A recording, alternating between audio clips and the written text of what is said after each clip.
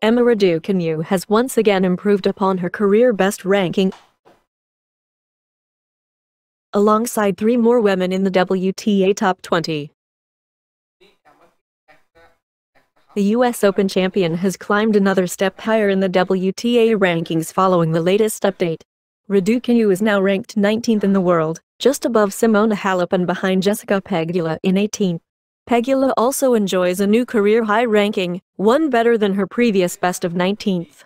Raducanu trails the American by just 23 ranking points and 17th ranked Petra Kvitova by just 33 points. Within the top 10, Paula Badosa and Anett Kontaveit have risen to 8th and 7th respectively after their performances at the WTA Finals in Guadalajara, Mexico. Kontaveit won 26 of 28 matches leading into the elite season-ending event and reached the final before losing to champion Garbine Muguruza. Badosa got as far as the semi-finals before compatriot Muguruza also overcame her. After winning the title, Muguruza also climbs from 5th to 3rd, her first time in the top 3 since July 2018.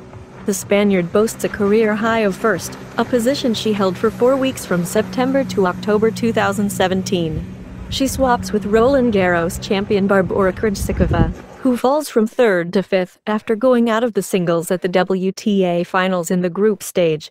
Ons Jabeur also falls but stays within the top 10. She goes from 7th to 10th in the WTA rankings. Elise Mertens has dropped out of the top 20, while Coco Gauff drops one spot from 21st to 22nd, three off her career high of 19 from September this year.